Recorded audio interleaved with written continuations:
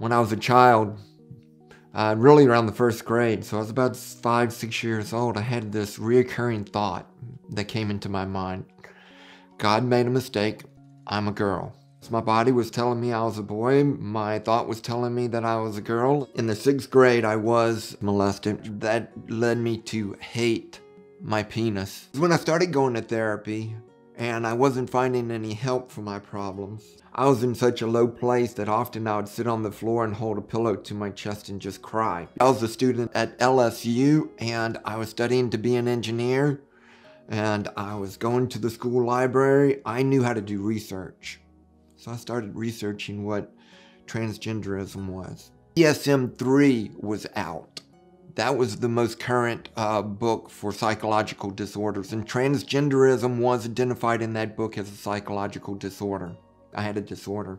All of the books, all of the journal articles that I found were telling me that I had a birth defect and that the leading theory was that in uterine my brain was washed with the wrong hormone. And that's why I had a woman's brain and not a man's brain. And that in order for me to find happiness, peace between my mind and my body, I had to change my body. So I went to my therapist and I told her that I want to transition. She shared with me that she knew I was going to come to this point one day she gave me a hug and she said, We'll walk this together. She gave me a note to go see a doctor to start me on testosterone blockers and on estrogen and progesterone. Well, I was I was really ecstatic. I was really happy at that point because I was on the road to transitioning. My first surgery, I had a penile inversion. I had um, a brow shave and I had an Adam's apple shave. So I had a lot done that very first surgery. Awful, don't do it. Don't do it. Another surgery was rhinoplasty. If my face looked more feminine, I would pass. So I had uh, rhinoplasty to create a more uh, narrow, more feminine nose. No matter how many surgeries I had, I couldn't fool myself. Every time I would look into the mirror,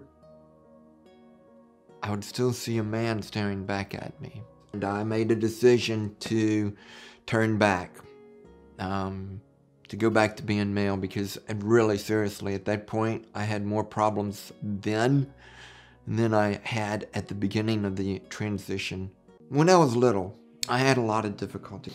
I wasn't athletic.